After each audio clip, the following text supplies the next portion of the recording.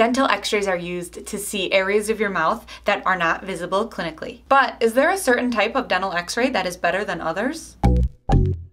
The answer is yes. Digital x-rays may be considered better than others, the others being traditional film x-rays. This is because digital x-rays give off drastically less radiation and they provide better diagnostic quality images. You remember the old school film x-ray where the clinician had to go in the darkroom and develop them? I do. I used those in school. And unfortunately, I've heard of some offices still using them. But the thing is, not only do digital x-rays give off less radiation than film, but digital x-rays provide sharper, clearer images, which makes them more diagnostic and allows patients to get more efficient care because the detail they show is a huge benefit. Digital x-rays allow us to see things such as a small cavity forming, whereas it's arguable that dental providers may be used to miss lots of small cavities because the old school film x-rays were hard to read. They weren't as clear. So we love how digital x-rays give off less radiation and we love how they provide us with better, more detailed images. But in addition, not only do they appear conveniently right on the computer, but they also do not require any harsh chemicals to develop them, like the old school film x-rays did. So another benefit is there's no chemical or material waste. Now, back to the low amount of radiation. I actually have a whole video dedicated to explaining how digital x-rays are actually safer than some of the background radiation that you're exposed to on an everyday basis, such as walking outside in the sun, flying on an airplane, and even eating food. So I'll link my x-ray radiation video in the bottom bar if you're interested in learning more. And I also have a radiation chart on my website, teethtalkgirl.com, which includes comparison charts of, say, eating a banana, which is equivalent to taking two x-ray images. It's interesting stuff, so I'll link all that in the bottom bar below. But for the purpose of this video, back to digital x-rays, which we like because they are better, not all of these digital dental x-rays are created equal. The type of image that your dentist orders will depend on what they need to check for. Here are the four most common types of images. Bite wing x-rays, or bite wings. This is a type of x-ray that helps screen for cavities between the back teeth. These are the checkup x-rays, two on each side, which are taken routinely at your dental cleanings. Usually they are about once a year, some patients need them twice a year if they are super cavity prone, and some patients with super low cavity rates may only have them every two years. It really depends on a case-by-case -case situation. Periapicals, also called PAs. When you need to see the entire root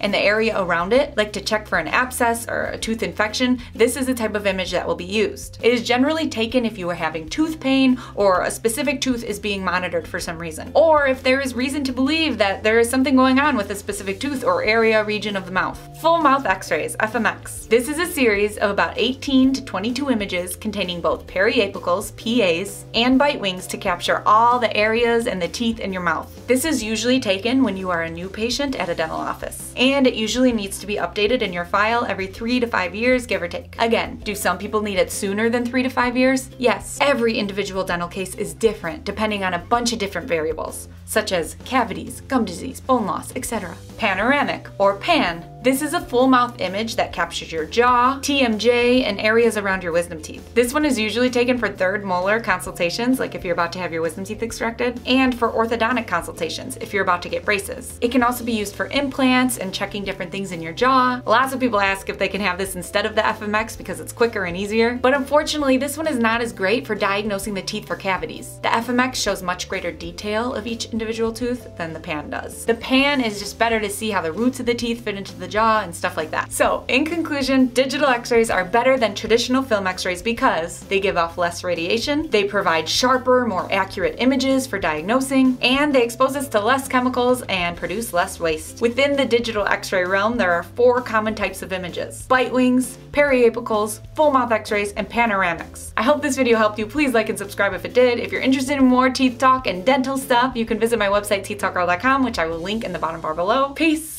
Love, and teeth.